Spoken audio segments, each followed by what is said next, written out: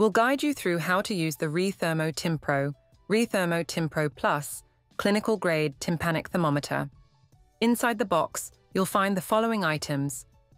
Clinical instruction, instructions for use, the ri-thermo tymPRO or ri-thermo tymPRO Plus thermometer, a probe cover cassette, two trays of 10 probe covers each, and two AA alkaline batteries. To replace the batteries, open the battery cover. Insert two 1.5 volt AA alkaline batteries, ensuring the correct polarity. Close the cover, and you'll hear a beep confirming that the batteries are properly installed. Turn on the thermometer by pressing the center button above the screen.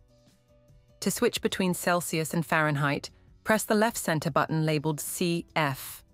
To replace the probe cover, insert the thermometer probe into a new cover within the probe cover cassette.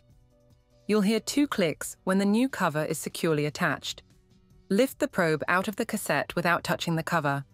Your ri-thermo tymPRO, ri-thermo tymPRO plus thermometer is now ready for use. Gently place the probe with a new probe cover into the ear canal. Ensure that the probe shaft is aligned with the ear canal. Insert the probe slowly and gently to avoid discomfort.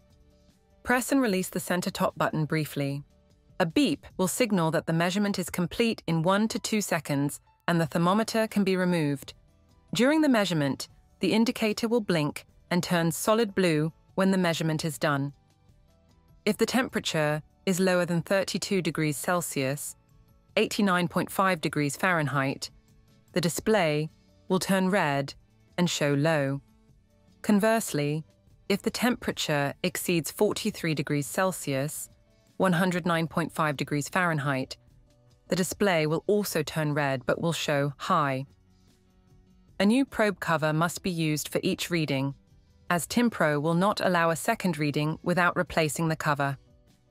To discard the used probe cover, press the eject button on top of the device and place the cover in a clinical waste bin or recycling facility according to local guidelines. When all the probe covers have been used, replace the empty tray with a new one. Secure each tray by listening for an audible click.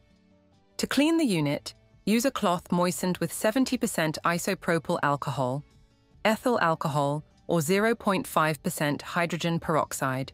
For the probe lens, use a cloth slightly moistened with 70% isopropyl alcohol or ethyl alcohol, or a dry cotton swab.